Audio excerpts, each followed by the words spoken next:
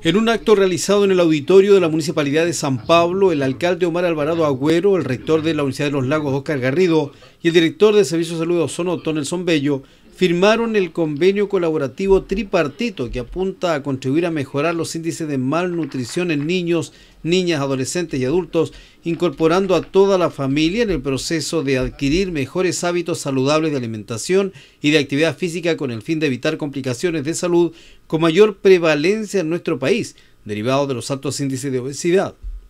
Al respecto, el director de Servicios de Salud señaló que este es un punto de partida importante, ya que refleja las voluntades de tres entidades públicas comprometidas en la promoción de estilos de vida saludables en la provincia.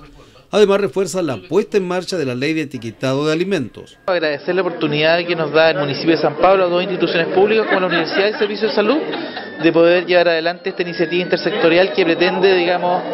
básicamente eh, desarrollar completamente el modelo de salud integral, eh, básicamente enfocado principalmente a la parte preventiva y promoción cierto de estilo de vida saludable asociado a los problemas que hay de obesidad infantil. En tanto, el rector de la Universidad de los Lagos sostuvo que es positivo que estas tres entidades compartan sus capacidades de gestión en torno a un objetivo en común como es la salud de las personas. Para nosotros va a ser tremendamente importante considerando que una universidad que tiene un foco en lo formativo, creo que una de las cosas que vamos a contribuir también al servicio de salud y al municipio es sistematizar la experiencia. Es decir, cómo se articula un modelo de gestión, cuáles son las prácticas que aquí se incorporan, porque en definitiva lo que se está haciendo aquí es colocar recursos eh, que van a permitir hacer mucho más eficiente el trabajo con la comunidad y educación, salud a disposición de un territorio que es la comuna de San Pablo. Por su parte, el alcalde de San Pablo, Omar Alvarado Agüero, señaló que es un gran avance para la comuna y sus habitantes el que esta alianza aporte con profesionales mejorando su calidad de vida.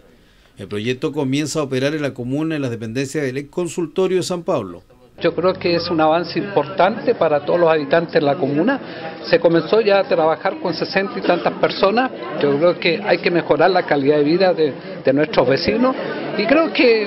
esta alianza que estamos eh, comenzamos hoy día entre el director de servicio, la universidad encabezado por nuestros rectores,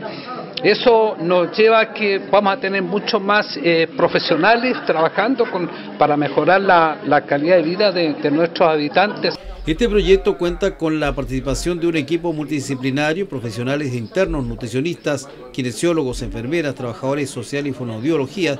que aumentarán atenciones en terreno a las familias a las cuales se les va a entregar guías para la elección de alimentos más sanos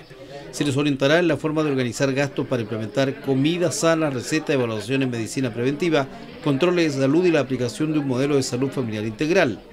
Lo que hace hoy día el servicio, lo que hace la universidad, unirse también con las comunas chicas, y creo que eso engrandece la universidad y el, servicio porque eh, eh, se hace un trabajo para, mejorar mucho más a los habitantes de, nuestra comuna. Creo que